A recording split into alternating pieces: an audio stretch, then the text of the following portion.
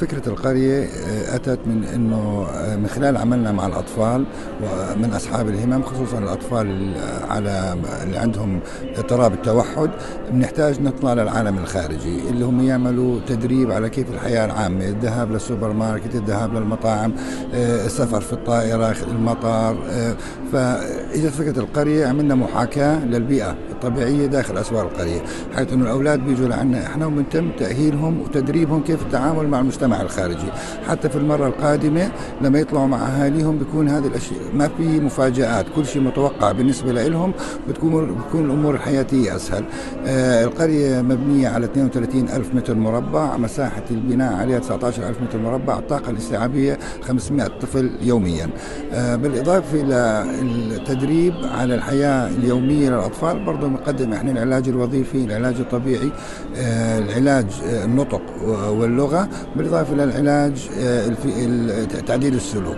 هلأ القرية كاملة بشكل عام هي أول فكرة على مستوى العالم اللي نقدر نجمع كل ما يحتاجه أطفال أصحاب الهمم وال young adults حتى من من أصحاب الهمم في مكان واحد. عندنا vocational program كبير داخل القرية اللي هو كيف ندور على الطاقات الموجودة عند هذول الأطفال كيف نقدر ننميها حتى نوجد لهم مكان عمل.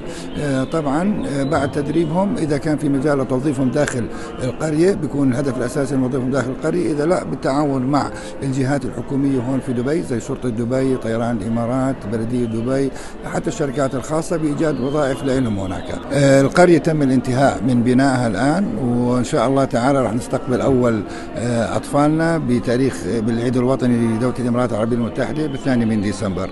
زي ما أنت شايف هون القرية عبارة عن منتجع زائد مكملات العلاجية التي يحتاجها الطفل.